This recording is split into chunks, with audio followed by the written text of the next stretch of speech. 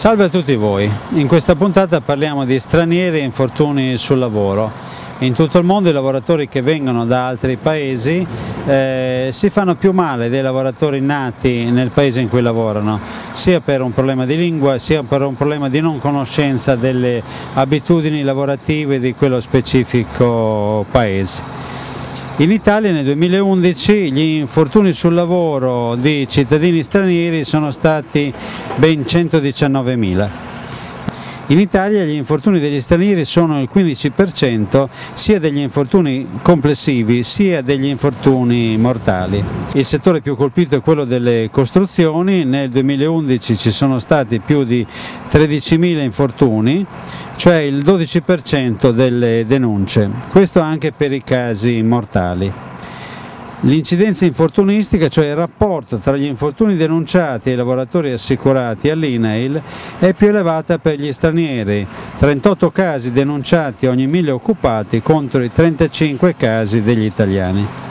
Gli infortunati stranieri sono, come gli assicurati stranieri, prevalentemente giovani.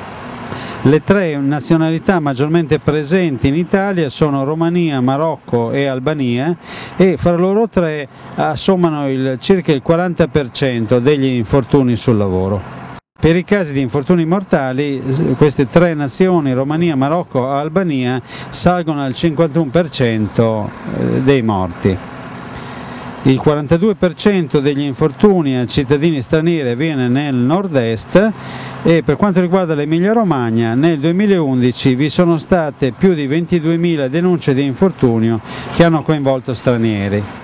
Vi presentiamo alcune interviste con eh, cittadini stranieri che spiegano il loro punto di vista e poi eh, vediamo interviste con esperti, in particolare analizziamo nella seconda parte della trasmissione la nuova legislazione italiana che eh, obbliga i cittadini stranieri che vogliono il permesso di soggiorno ad acquisire una conoscenza buona della lingua italiana documentata con attestazioni legalmente valide. Sono quasi mezzo milione di persone, ai quali bisogna aggiungere almeno 90.000 lavoratori irregolari. Nelle aree metropolitane rappresentano oltre il 60% dell'intera forza lavoro italiana. Nei prossimi anni, tra l'altro, il loro numero è destinato a crescere ancora e molto. Sono gli operai immigrati nel settore edile, il comparto economico italiano che accoglie il maggior numero di lavoratori stranieri. A loro, molto spesso, sono destinate le mansioni più dure e le peggio retribuite. Infatti guadagnano in media il 38% in meno rispetto a un italiano dipendente, anche se come gli italiani convivono con il concreto rischio di infortuni. Tutti i lavori che c'è in cantiere io posso farlo, però di più faccio la muratura, il intonaco, piastrelle, i marmi, quello che c'è qua. Pavimento, intonaco, fatto, adesso abbiamo il cantiere della aula, cantiere grande, fatto, c'è tanti operaio. Facciamo un po' di tutto, quello che ci capita per vivere lo dobbiamo fare. Io sto dieci anni qua in Italia, sempre piaciuto Italia, trovato bene, gente, tutto bravo. E sicurezza così meglio, però noi anche sicurezza meglio, tante leggi, però qua in Italia c'è tante leggi, non mi caccina. Io ho fatto anche i corsi per la sicurezza e tutti, e non è che deve sbagliare, eh. quello che c'è da fare deve farlo. Sì, alcuni siamo pigri, eh, da quando arriva il, il sole noi ci dà fastidio. Tutte le regole, l'uomo medio orientale le regole dà fastidio, di nascita, no? È un po' da noi. La formazione dei lavoratori extracomunitari è prevista per legge, ma i decreti non fanno la sicurezza. Che cosa fare? Studi, ricerche, analisi sono importanti. L'AIFOS ha tentato un percorso, diciamo, un po' originale, seguendo quelli che sono i sistemi di gestione e dopo aver fatto molti esperimenti ed esperienze siamo arrivati a una conclusione semplice ed ovvia che per fare la formazione dei lavoratori stranieri bisogna partire dal vertice aziendale. Se il vertice aziendale non è consapevole, la formazione non si fa bene. Ma non è sufficiente che il vertice aziendale sia consapevole, perché di questo di fatto lo è, a voce o a parole. Le grandi difficoltà che noi abbiamo trovato nel nostro lavoro e che, le, e che vuol dire come superarle, perché le difficoltà si trovano e si devono superare. La grande difficoltà è stata quella di far comprendere ai dirigenti, ai datori di lavoro l'importanza della formazione e ci siamo scontrati di fronte al problema della lingua. La lingua rappresenta uno degli ostacoli principali e gli strumenti messi in campo fino adesso non hanno risolto completamente questo problema.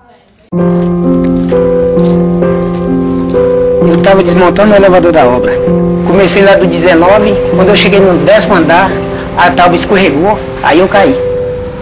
Não usava o cinto, porque para mim nunca ia acontecer isso comigo.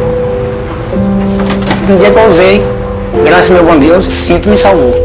Senão, eu não estaria aqui mais não. Porque onde mais sentiria minha falta não é no trabalho, é de minha casa, né? Minha família.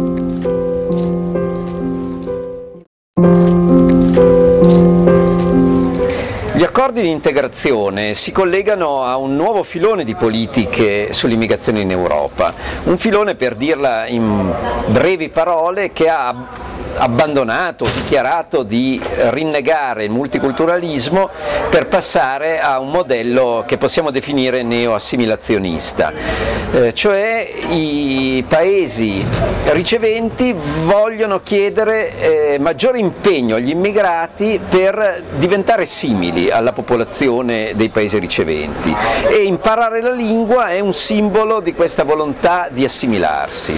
Gli accordi di integrazione tendono quindi a trasformare quello che un tempo era una risorsa, un auspicio, eh, in un obbligo, in un dovere degli immigrati. C'è quindi un'ambiguità politica dentro queste misure, una volontà di maggiore controllo, eh, anche di una sorta di imposizione di un modello nei confronti degli immigrati. E tuttavia, pur con questi limiti, eh, all'interno degli accordi di integrazione eh, si stanno sviluppando delle buone pratiche, dei progetti, delle attività per investire sulla formazione linguistica degli immigrati. E imparare la lingua è una risorsa strategica per quanto riguarda i processi di integrazione economica, trovare, mantenere e migliorare un lavoro e per quanto riguarda la partecipazione politica, in particolare quella partecipazione politica quotidiana dal basso che è oggi la partecipazione accessibile agli immigrati anche quando mancano della cittadinanza italiana. Importante anche riuscire a dare la giusta accoglienza e integrazione a tutte queste persone, questi lavoratori che vengono da noi per trovare un posto di lavoro e dare un futuro a se stessi e alle loro famiglie. Per i stranieri è importante anche dei corsi specializzati sulla sicurezza. Molte volte succedono infortuni anche solo perché non si è capito bene un segnale, perché non si è stati capaci di leggere un'istruzione. Allora eh, una giornata prima di entrare nel cantiere sulla sicurezza, in particolare per i cittadini stranieri che possono imparare bene i nostri segnali, i segnali di pericolo e che possono anche intendersi bene con gli altri colleghi di lavoro. Perciò in particolare per i cittadini stranieri noi chiediamo una maggior formazione attraverso il nostro sistema di scuole edili che possa permettere di inserirsi nei luoghi di lavoro utilizzando al massimo la sicurezza.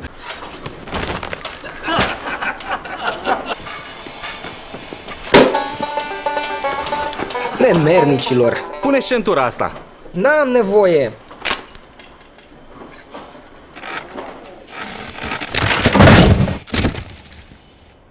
Nu e de glumă. Cel mai bine este să previi. Che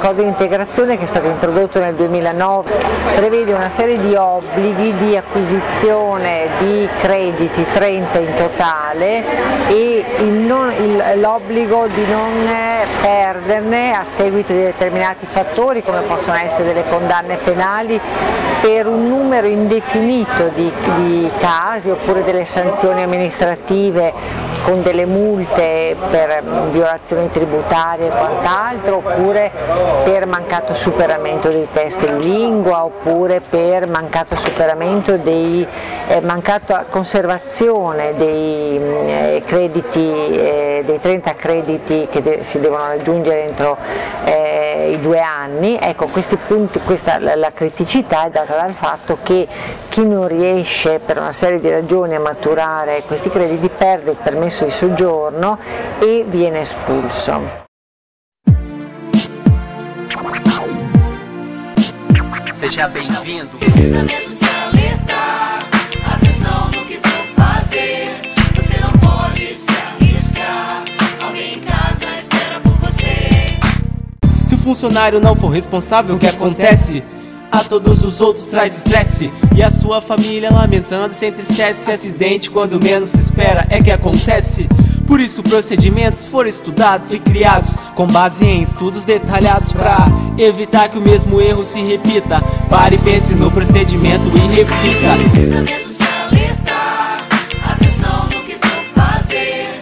Você não pode se arriscar. Alguém em casa espera por você.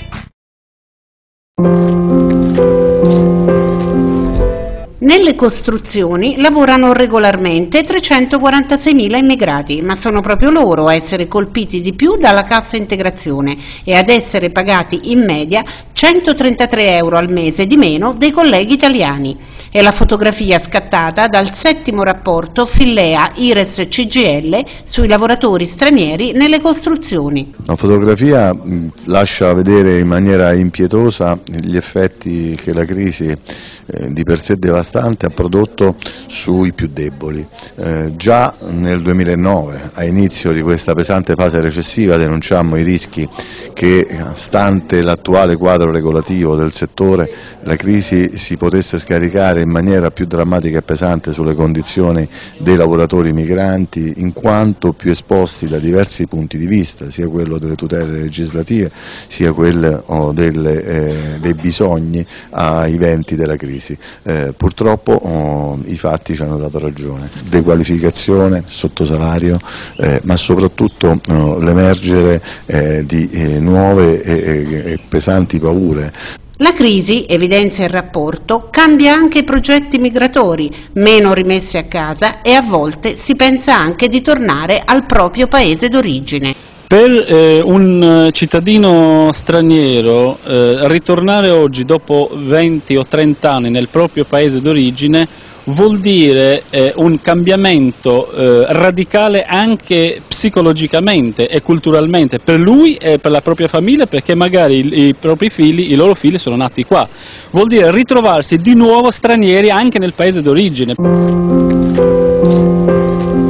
Manuta in Coppa in Italia circa 16.000 dipendenti ed abbiamo un numero molto elevato di lavoratori non nati in Italia, superano i 2.000. Noi abbiamo fatto tutta una serie di interventi articolati di formazione e di formazione sulle, sulle, anche sui lavoratori stranieri, eh, in particolare abbiamo cercato di aiutarli anche col problema della lingua, quindi abbiamo eh, preparato e diffuso del materiale non soltanto in italiano ma anche nella lingua diciamo, eh, conosciuta da queste persone, anche se devo dire che ormai molti di loro eh, parlano molto bene l'italiano.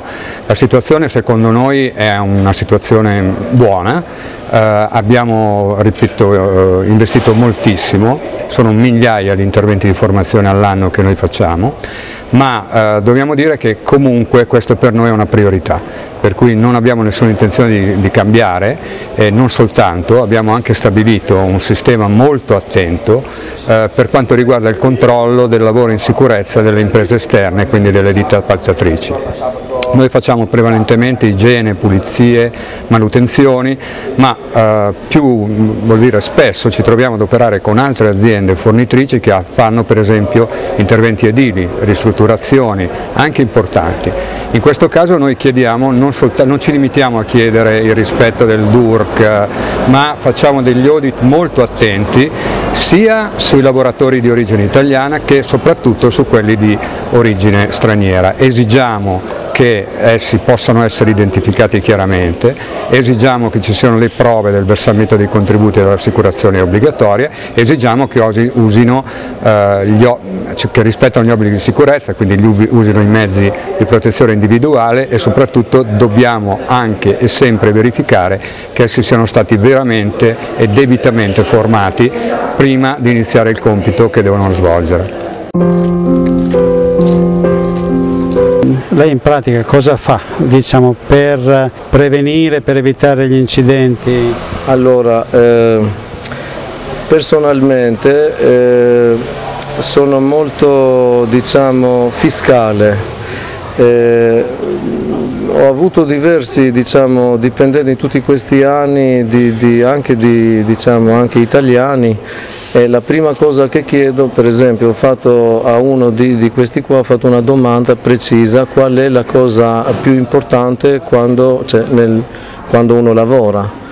E quindi cioè, eh, dopo un po' di tempo, anche giorni, è passato persino una settimana, eh, questo, questo, questo diciamo, ragazzo, perché era molto giovane, maggiorenne ma era molto giovane, diciamo, mi ha dato tutte le risposte del mondo, ma non, non, non mi ha dato la risposta che, che mi aspettavo io e alla fine lui è rimasto, se lo ricorda ancora dopo tanti, da tanti anni, dopo sette anni se lo ricorda ancora, la risposta era la cosa più importante è non farsi male e poi tutto il resto viene dopo. Ecco.